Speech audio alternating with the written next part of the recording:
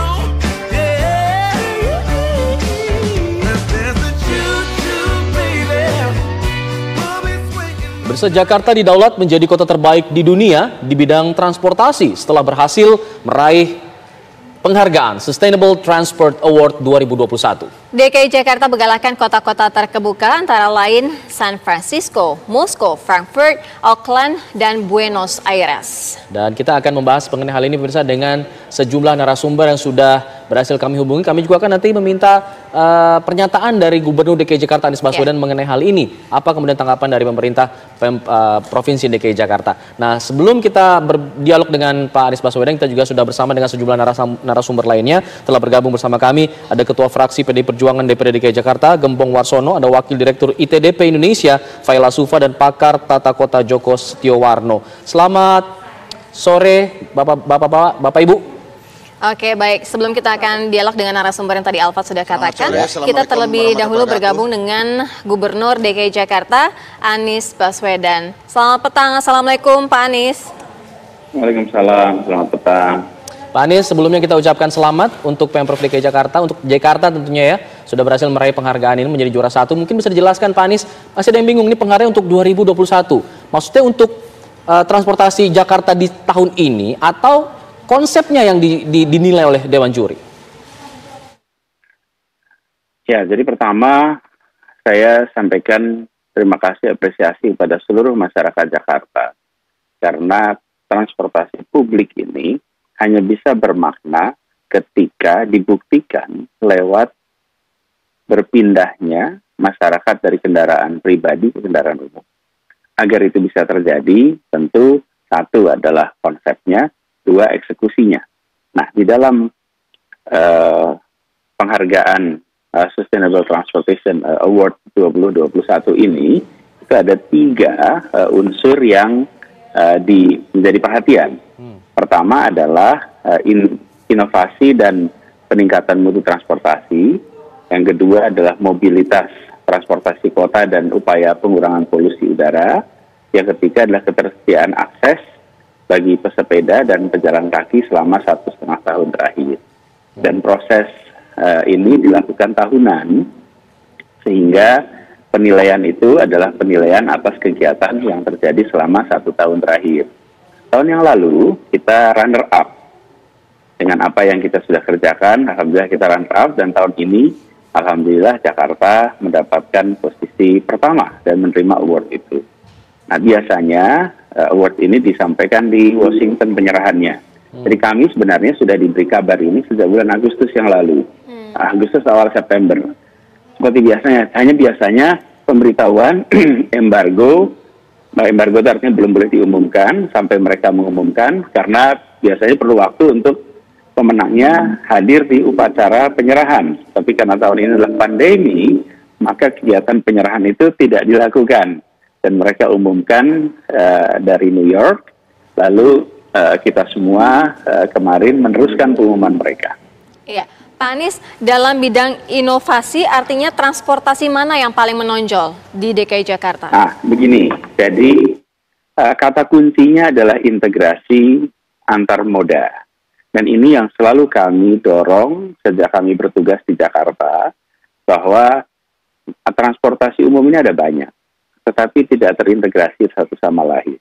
Dari integrasinya dari mana? Dari mulai angkot, kemudian bis kecil, bis sedang, bis besar, termasuk uh, Transjakarta, kemudian LRT, MRT, KRL. Jadi ini diintegrasikan, lalu dibuat namanya apa? Jaklingko, sebuah sistem di mana rute terintegrasi, terintegrasi itu artinya tersambungkan jadi kalau seseorang naik angkot, maka dia akan bisa menggunakan kartu di tap itu di, disentuh di alatnya, di angkotnya, kemudian dia akan bisa berpindah dalam waktu tiga jam ke kendaraan lain tanpa harus membayar lagi dan tanpa harus terlibat dalam transaksi apa pun. Jadi, ini kita bangun sejak awal 2018. Lalu, waktu itu masih statusnya eksperimen dan kemudian bergerak apa yang terjadi? Jumlah penumpang kendaraan umum dari mulai angkot sampai dengan uh, Transjakarta itu meningkat signifikan. Jadi daily readership ya, oh, daily readership itu artinya eh, rata-rata harian pengguna kendaraan uh, umum di Jakarta oh, di 2016 itu ada 338 ribu dan kemudian di tahun 2019 sepanjang tahun rata-ratanya adalah sebesar 930 ribu. Dan ini menggambarkan betapa banyaknya warga yang berpindah dari kendaraan pribadi ke kendaraan umum. Bayangkan, dari 2, 338 ribu menjadi 930-an ribu. Lalu rute, rutenya dikembangkan. Di tahun 2017, itu ada 121 rute bis di Jakarta. Di tahun 2019, ini akhir tahun itu menjadi 210. Bayangkan dari 120 menjadi 210. Lalu kalau bicara tentang yang dioperasikan, misalnya Transjakarta, itu tahun 2017 ada 1.520 dan di tahun 2019 menjadi 3.400, dua kali lipat. Nah, ini menggambarkan integrasi yang dilakukan yang di bawah kendali kita. Yang berikutnya adalah kita terintegrasi sekarang dengan uh, eh, KRL. Jadi bis-bis kita dengan stasiun-stasiun kereta api jadi satu. Sekarang bisa dilihat di paling contoh paling mudah adalah stasiun Tanah Abang.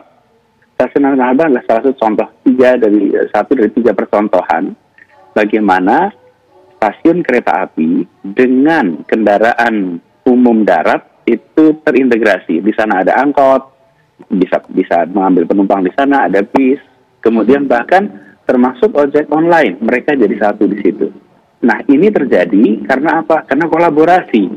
Jadi tidak dikerjakan sendirian, ini adalah kerja bersama, mengintegrasikan, disepakati, arahannya adalah di bawah Jaklingko. Ini adalah konsepnya, kemudian seluruh operator bekerja bersama dan menggabungkan operator dari mulai angkot sampai dengan kendaraan e, bis menengah ini tidak mudah karena terbiasa beroperasi sendiri-sendiri. Hmm. Dan saya perlu garis bawahi, begitu ini menjadi satu kesatuan terintegrasi, angkot-angkot yang ikut dalam program Jaklingko ini, mereka tidak perlu ngetem hmm. karena penghitungan angkotnya tidak lagi per penumpang. Mereka di, diberikan kompensasi bayaran per kilometer. Baik. Jadi misalnya satu rute itu kita sudah tentukan kilometer minimalnya sehari misalnya 95 kilo, maksimalnya 110. Dia dalam satu hari harus bergerak di dalam jumlah itu sehingga tidak perlu ngetem karena dia dibayarnya per kilometer. Lalu supirnya dibayarnya per bulan. Jadi tidak ada lagi kebut-kebutan, tidak perlu lagi untuk uh, mengganggu kemacetan ke transportasi karena mereka ngetem. Yeah. Nah, jadi saya kembalikan kepada konsepnya. Ini soal integrasi. Bagaimana kita menjadikan transportasi umum ini sebagai satu kesatuan. Ada tiga unsurnya minimal, integrasi rutenya, Baik. jadi terintegrasi. Yang kedua integrasi uh, tiketingnya. Yang ketiga integrasi pada manajemennya. Dan ini termasuk kereta api ya. Kereta api itu adalah uh, dikelola oleh BUMN.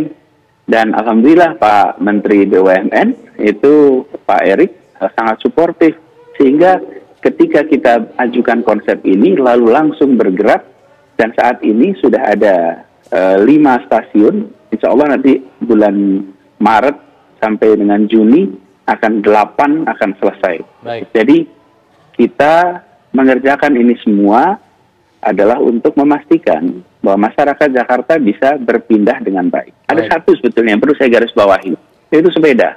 Hmm. Jadi salah satu yang dinilai dalam Sustainable uh, Transport Award ini adalah mengenai uh, moda transportasi yang ramah lingkungan. Hmm. Saya selalu garis bawahi, alat transportasi yang prioritas nomor satu adalah jalan kaki. Karena itulah alat transportasi yang dimiliki semua orang.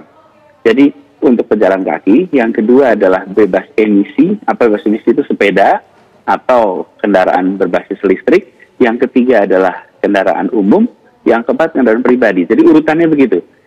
Berjalan kaki, bersepeda, lalu ketiga kendaraan umum, keempat adalah uh, transportasi pribadi. Nah, kita membangun uh, jalan untuk trotoar untuk para pejalan kaki secara serius kemudian membangun jalur untuk sepeda sangat serius dan mengkampanyekan. Sepeda tidak dipandang sebagai alat untuk olahraga, tapi sepeda juga dipandang sebagai alat transportasi. Baik. Jadi bersepeda itu bukan hanya hari Minggu pagi, hmm. tapi ke, kantor bersepeda, Baik. antar kegiatan bersepeda. Jadi Baik, itu contoh-contoh integrasi dan uh, transportasi ramah lingkungan. Baik. Itu yang kita kerjakan. Baik, Pak Anies ini gelar yang uh, bisa dibilang cukup bergengsi dan amanahnya tentu besar.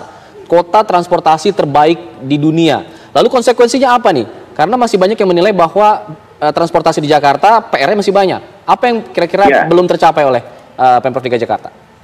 Jadi saya ingin garis bawahi ya bahwa ini bukan award untuk kota dengan transportasi terbaik di dunia. Ini adalah award untuk kota dengan inovasi atau perkembangan transportasi terbaik di dunia selama 15 sampai 18 bulan terakhir. Jadi yang dinilai itu adalah uh, inovasi dan perkembangan dalam 15 sampai 18 bulan. Inilah yang dilihat. Jadi bukan sebuah award untuk kota dengan transportasi terbaik di dunia. Saya rasa kita masih punya banyak PR, tapi bahwa inovasi dan perkembangan selama 15 tahun ini mengalahkan San Francisco, mengalahkan Moskow, mengalahkan Charlotte, mengalahkan Frankfurt, inovasi kita, perkembangan kita. Jadi kita prinsipnya syukuri perkembangan, perbaiki kekurangan, dan kerja keras terus. Inilah yang harus kita dorong.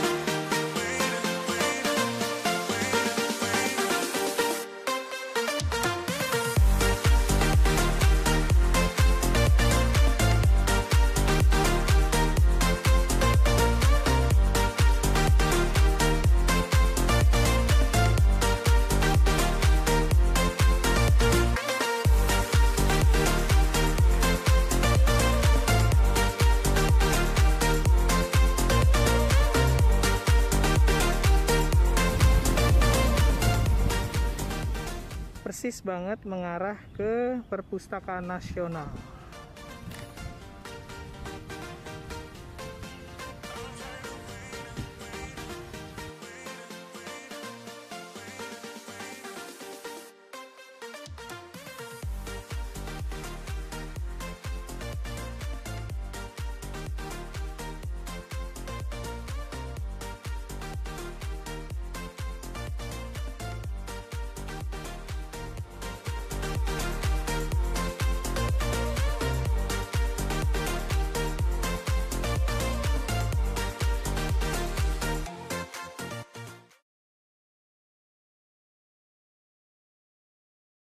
Kelemahan mereka ada di saat Anis diganggu sama kita. Caranya gimana? Kumpulkan orang-orang yang sudah dapat denda selama ini dari Pemda DKI. Dari urusan PSBB, misalnya warung-warung yang kena denda, restoran-restoran yang kena denda, masyarakat yang nggak pakai masker yang kena denda. Kita minta Anis kembalikan denda selama ini. Karena Anis tidak bisa mencegah kejadian di petamburan dan saat hajatan seperti ini. Itu satu. Dengan kayak begitu, Anies ditekan, Rizik akan Setelah marah. hampir 10 jam, Gubernur DKI Jakarta Anies Baswedan akhirnya selesai memberikan klarifikasi atas dugaan pelanggaran protokol kesehatan di acara Maulid Nabi dan resepsi pernikahan putri pemimpin FPI Rizik Sihab. Gubernur Anies Baswedan menyatakan bahwa dia diberi 33 pertanyaan oleh pihak Polda Metro Jaya terkait dengan acara yang menimbulkan kerumunan di Petamburan pada Sabtu 14 November lalu. Anies mengaku sudah menjawab semua pertanyaan sesuai dengan fakta yang ada. Namun Anies enggan menjelaskan secara rinci pertanyaan yang diterimanya. Ia menyerahkan kepada pihak Polda Metro Jaya yang menjawab. Saudara.